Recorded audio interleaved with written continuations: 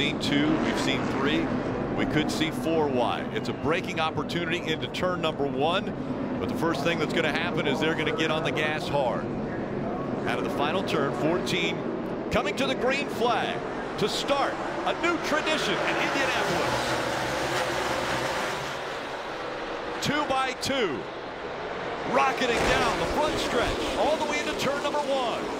Here's William Byron. He'll get the jump and grab the lead. Chase Briscoe will come along for the ride. They're four wide, just outside of the top 10. Now they got to funnel down to three wide, down to two wide. Battle shaping up for third among teammates. You got Elliott there in the nine. You've got Larson there in the five.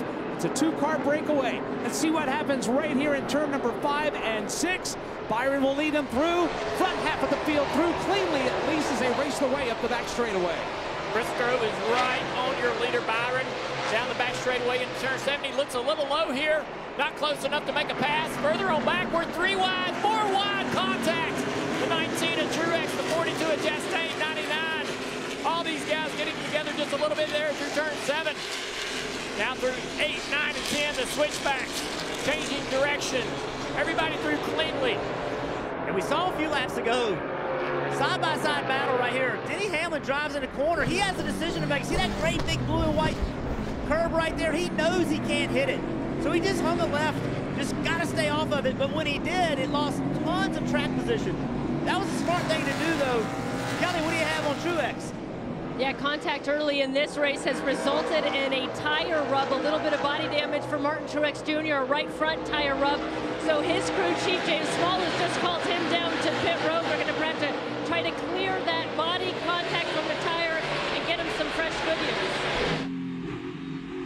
Number 33 of Austin Cindric, the 22-year-old out of Mooresville, North Carolina, a winner yesterday in the Xfinity Series right here, just deep into turn one. Looks like he has to get on the brakes a little harder than he wants behind Denny Hamlin. Either wheel hops or locks up the rear tires, spinning it out. No damage, but a lot of track position loss.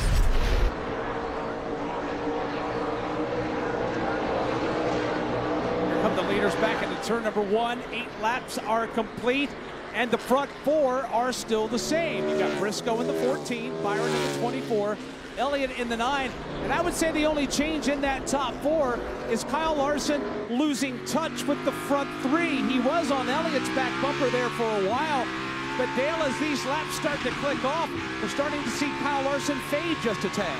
But slowly but surely, Elliott is starting to creep in on these front two. And you know the laps yesterday in the Xfinity Series race are helping Chase Elliott tremendously. Seems like he got in a better and better groove as that race went on. Here's the 10 car. We've got some major damage to the right front headlight. There's the contact. Look at the damage. Look how much that damaged that car and the 7 car of Corey LaJoie. So Eric Almirola, yeah, he's on pit road already to repair some of that damage and change the tires.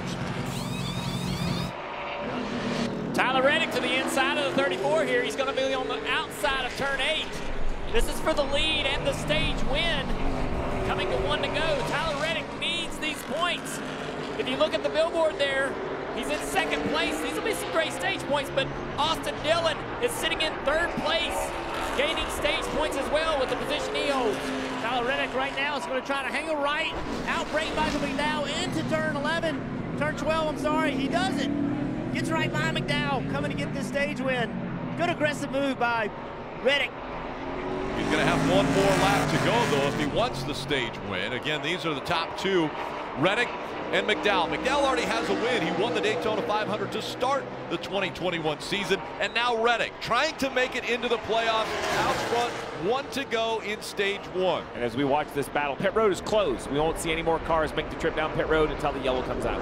Tyler Reddick will love to get those points, but let's not underestimate Michael McDowell's desire either. He's in the playoffs. He's well down the pecking order, and he can use every point he can get his hands on. Slide the tires there just a bit is Tyler Reddick, but so many points sitting in front of him, and that's what he needs right now. He's in a big points battle with his teammate Austin Dillon. Tyler Reddick will come out of turn 14. He'll see the green and white checkered flag. He grabs his second stage win of 2021 and the first stage win on the road course for the Cup Series. The Geico restart zone. Keselowski and Elliott up front. Stage two is underway. Knew the jump was important, and he went right away and got a great acceleration to at least take the pressure off into turn one. And look at the battle behind him. Question is, how long can Brad Keselowski hang on to the lead? They'll gobble him up quick coming into one. Brad will hang on to the lead. They are two and three wide further back. Oh, everybody's got those elbows up now, trying to get through this end of the racetrack. Here they come through the left-hander, make that the right-hander. That's turn three. And Brad Keselowski, his plate is full right now. He looks in the rearview mirror, and William Byron in attack mode through turns five and turn six. Down the back straightaway, William Byron waiting on Brad to fade to, to the right there, so he'll open up the opportunity here in the braking zone. And here comes the 24 car. He's off the Chevrolet, forces it down to the inside. They're side by side heading into turn eight. Brad on the inside is going to take the lead back. Williams going to give it to him. Cut him a break right there, but that allows Chase Elliott into the fight. Chase to the inside of the 24 coming down to turn 10. Chase Elliott took full advantage of Keselowski kind of holding up the 24. William just couldn't make anything happen on the outside. Now they're going to be side by side into this very difficult braking zone. Chase Elliott underneath Keselowski. William Byron pushing him. It's too nice Joey Logano wants to get into the fun. Chase Elliott fighting for the lead now. Brad Keselowski has it, but here comes Elliott to the inside. Before they come out onto the front stretch, he's trying to make the pass. Up through the gears they go again. Chase Elliott trying to take the lead away from Keselowski. Keselowski moves to the right. Elliott slides all the way down to the pit wall. And now back up front. Elliott's up front of the field. Side by side for the lead at Indianapolis. Brad is trying to stay with it. They're three wide with the brakes locked up on Kyle Larson in the five. It's Elliott to the lead in the nine. Keselowski to second, and his teammate, Joey Logano, is trying to come along for the ride as well. Here's Logano trying to get a twofer. He's got to back away. He almost clips Brad. What a battle for second, third, and fourth as they leave six and head to the back straightaway. Oh, Byron's off course there a little bit. Just offline pretty badly. That's going to cost him several spots down this back straightaway. Kyle Busch, who's climbed through this field from a terrible starting position, goes by the 24. There's the 14, the 41.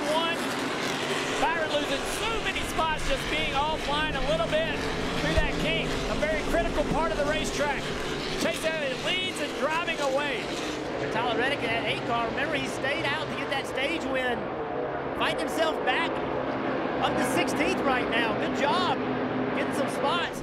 Trying to take advantage of Keselowski on those old tires. Drives underneath him, clears him. Oh, we got contact here. Matty D, Christopher Bell off the track. Cars flying by him on the outside. Two drivers mad at each other. All the other ones are happy. Go flying by. Now here's the contact. Basically, to your left, the 21 gets in deep. I can't really tell how the 20 got in there next to him, but either way, both cars off in, into the grass.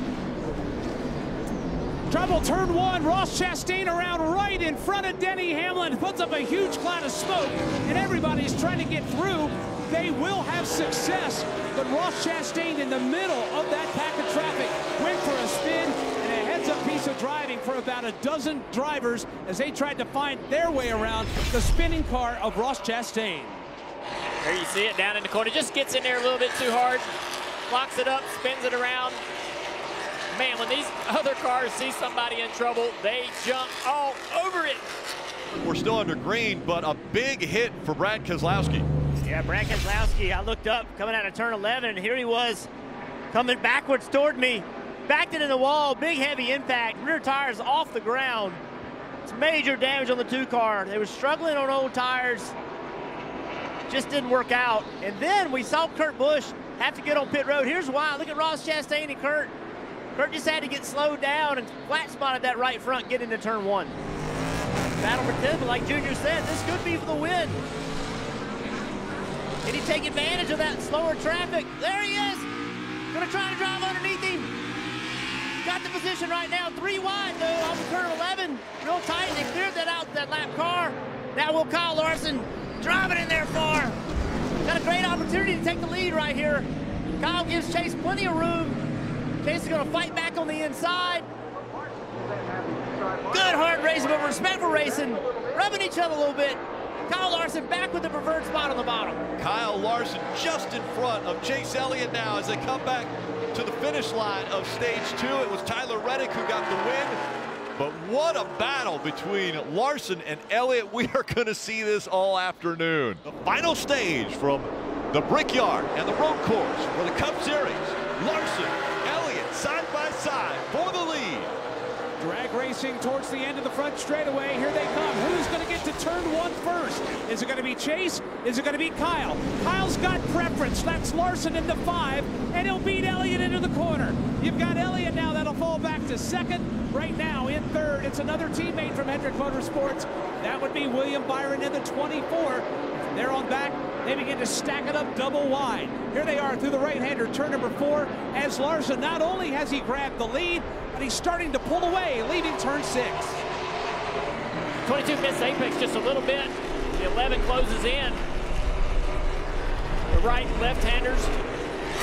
He misses it again. We got a car around over here, the 33, exiting turn seven. Austin Cindric is spun out. He gets it right and back on track. Little contact with Kurt Busch right there. Kurt got into the left rear quarter panel. And we'll see if this will be the time when Hamlin will come to pit road. How long would you stay out, Steve? Well, he's already lost quite a bit of time to new tires. I think if you're Denny Hamlin right here, now your plan is to run long enough that when you put your tires on, you have the freshest tires in case there is a caution. You can then stay on the racetrack. As we see, he turns left again, won't come to pit road, Marty. I think that's Chris Gabehart's plan. I think in his mind, I can't beat Kyle Larson and Cliff Daniels right now, so I'm just going to run as long as I can, have fresh tires on at the end. So he left Hamlin out. In fact, just a moment ago, he said, how's the car handling? He didn't say we're pitting in this many laps. They haven't talked about pitting at all yet. So right now, there's, what, one, two, three cars that have kind of stayed out playing this strategy, the 11 being one of them. And Denny Hamlin on much newer tires. Remember, he stayed out, waited to pit, he is a solid second faster than the field. You just heard him say, hey, if this thing goes green, we can get to third. That's his mission right now. Push really hard. Well, you mentioned, you know, if it stays green, I mean, the question could be 10 laps over, you easily have it yellow. It doesn't take very much. You see right there, Ross Chastain up over the curbs. Oh, big piece of debris. That is a huge piece of debris down there between five and six. We'll see if NASCAR feels that's too close to the track or not. It looks like it's gone. You think it's far enough to the left, but look at all the tire tracks. That's definitely the racing surface. And there is a caution. And as I was just mentioning it, now what do you do? Fresh tires or track position? Green flag back in the air. Right away, DiBenedetto trying to block. Larson on the inside makes it three wide. He'll make it three wide, trying for second here as they go into one. And they're three wide for the lead. Briscoe comes flying into the inside of Hamlin. Kurt Busch has to give, a, give way. Hamlin is away with the lead. Briscoe now to the number two position, and they're stacked up there. William Byron's on the move. He'll jump to the outside as well. So right now you've got Hamlin in the 11, Briscoe in the 14, and William Byron gets by Kyle Larson in the 24. He'll take third, and they're bumping and banging and grinding, and turn number six, he'll spin it to the inside. That is Martin Truex Jr., who gets spun to the exit of turn six. Down here in turn seven, though, we remain green. Larson is now on the outside in turn eight. Through turn nine, he's going to have the position. He'll take it away from his teammate, William Byron. Now he tries to set sail, get clear of Byron, and go after the leaders. Great battle right there with teammates. Kyle Larson now has got to run these top two down. Denny Hamlin trying to get away from Chase Briscoe. Chase Briscoe has had a really good day. All kinds of issues later in this race, though, has not been able to brake the way he wants to. We saw him a little bit of lockup right there. Can he get momentum? on Denny Hamlin to make a run down the front straightaway. Coming to you, Rick. The 11 of Denny Hamlin trying to hold off Chase Briscoe. Mark Truex Jr. is rolling, so the caution won't come out. Here comes Briscoe for the lead. He goes to the inside of Hamlin, the Indiana boy, trying to win again Indianapolis Motor Speedway, trying to take the lead away from the 11. And a playoff berth hangs in the balance for Chase Briscoe. If he wins, he's in. He'll lock up the right front. Hamlin goes wide. Briscoe with the advantage, but Hamlin powers back to the inside. Hamlin goes back to the lead in turn three. Briscoe right behind him, and Kyle Larson begins to loom large in these rearview mirrors for the two that lead the way through four, now into five and turn six. All of that contact between the two leaders is allowed. Larson, well, the 24 is spinning. The 24 is oh, there's a multiple cars into the wall here. There must be oil or some kind of fluid down on the racetrack is reporting that the curb came up. He hit the curb in the 24. Yeah, the curbing is coming up, and that's what everyone hit when they were coming through there in turn six. The curbing comes up, catches a bunch of the cars, the front ends of the cars, and oh, numerous cars are destroyed. Take a look at what happened to Daniel Suarez's car. Looks like he gets turned by the 20. You can already see some cars having trouble with that curb and debris going everywhere. Truex gets spun around right here. He's riding on top of the roof cam.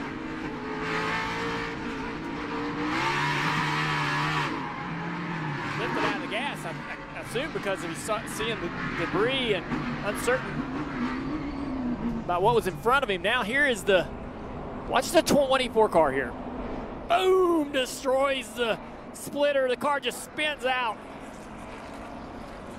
Everyone behind him piles in. And it ain't over. More cars are going to come sliding into this because you're committed. Once you're committed,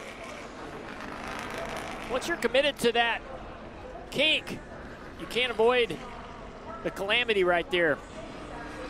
Be a good angle to see how the rest of the field. Look at the 22 destroyed his car over the curb.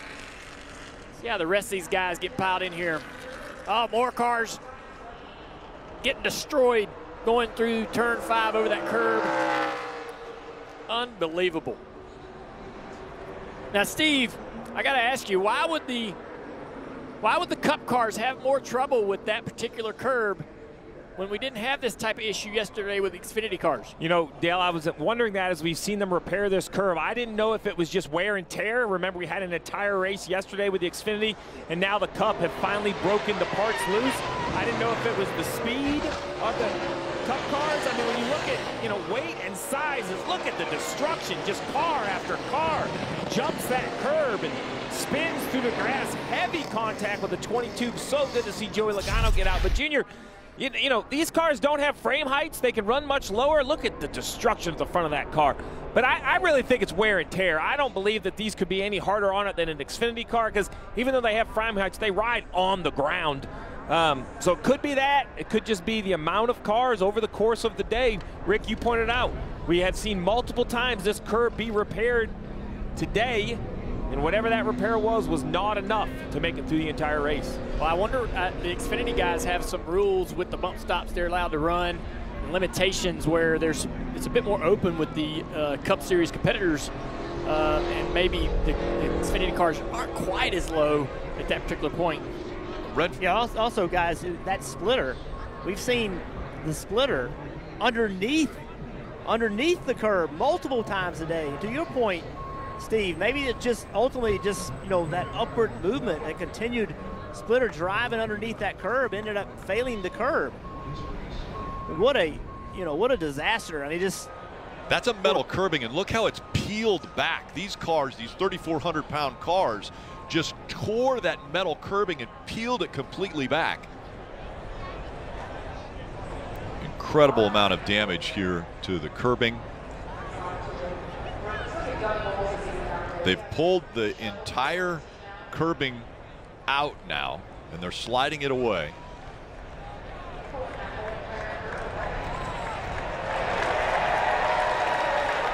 See the damage to the dark blue square, rectangle there, where literally peeled the metal up and back uh, when those cars were coming through.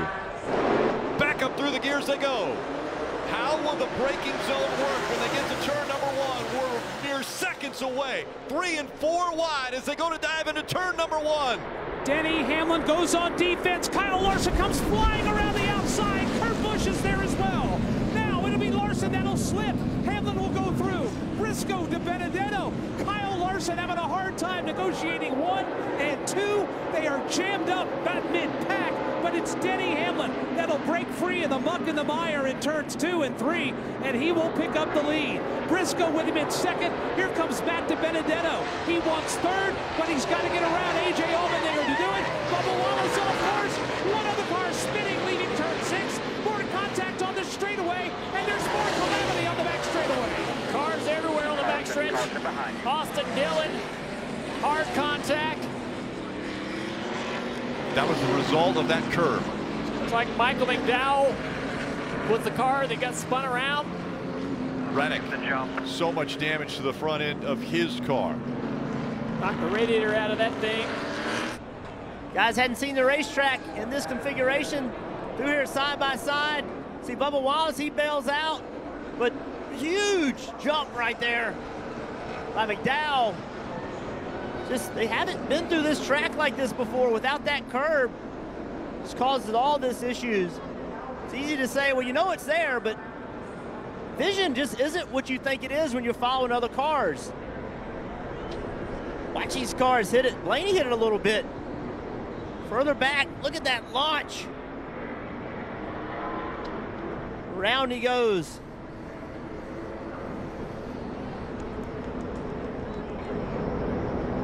Crazy. See Cole Custer in the wall. The teammates, Austin Dillon with big damage. 23 above Wallace. I think he knows he's not going to make the corner. Goes driver's right. 34 spins around right there. Big contact by the three. I think that's LaJoie getting a little bit of contact as well. Here comes Reddick in the picture. Already heavy damage. Allmendinger in the 16 on the inside of row two. Once again, hard on the gas. Across the yard of bricks. Two laps to go from Indy. A great restart for Denny Hamlin. Here he comes into turn one. Chase Briscoe's going to give him a run for the money. Here's Briscoe to the outside, but he's going to be offline. No, dead. Oh, Briscoe's in the grass. Now it's a battle for the lead with Hamlin and Allmendinger. Briscoe will will be side by side with Denny Hamlin. Briscoe getting forced off course with a piece of debris that went flying off the race car when it happened, but they're back on course. Battle for the lead. Well, now exits turn five and six, and Ryan Newman gets the curving in turn six. Down the back straightaway, there's smoke out of the out of the 11 car. It's all clear now, though. He leads them into seven. Briscoe right on his tail. We'll have to see how NASCAR. Stop and go. 14 has a Oh, stop and go. stop and go for the 14 car. He is not racing for the win. Oh, he's going to spin Denny. Denny is spun out. The 14 car spun Denny Hamlin out into turn 10. That puts AJ Allmendinger in the lead because Briscoe will have to serve a penalty. He did not enter back onto the racetrack the way that you're supposed to. So AJ Allmendinger is going to be the leader right here. Ryan Blaney right behind him. Kyle Larson behind him. Kyle Larson running back down. Briscoe missed the turn. AJ Allmendinger. He's in front. Ryan Blaney running in the second spot. And yes, Kyle Larson is right back in it in the five. Coming up on one lap to go. One more time around. Larson taps the wall when it comes out of 14. In front, AJ Allmendinger trying to grab another win. He'll be his first at Indianapolis. Blaney they- running second. Here they come for the final time into turn number one. Does AJ Allmendinger have enough to get it back to the start-finish line and win at the Brickyard? He'll lead Ryan Blaney by two car lengths, by car lengths. Back they begin to stack up, they clear turns three and four as right now AJ Allmendinger will take it through turns five and six for the final time this afternoon in Indianapolis. AJ's well clear of second place Ryan Blaney. The battle really is for third and fourth. Blaney clear now of Larson down here in seven. No lockups on the 16 car. He gets into seven clean. Heads into turn eight. Going back and forth. He's worked all day to put himself in this position. Leaving turn 10 with about a six car length lead over Ryan Blaney. Blaney under attack. AJ Allmendinger, driver for Kaulig Racing. Kaulig Racing going full-time Cup racing next back, year. They have no wins in the Xfinity's in the Cup Series. AJ Allmendinger just a few more corners to get them their first win. AJ Allmendinger could come here and pull off the most amazing win of his career at Indianapolis Motor Speedway. Another chapter written into the Indy history books. A.J. Allmendinger will cross the yard of bricks, the winner of the first ever road course race for the Cup Series. Let's go!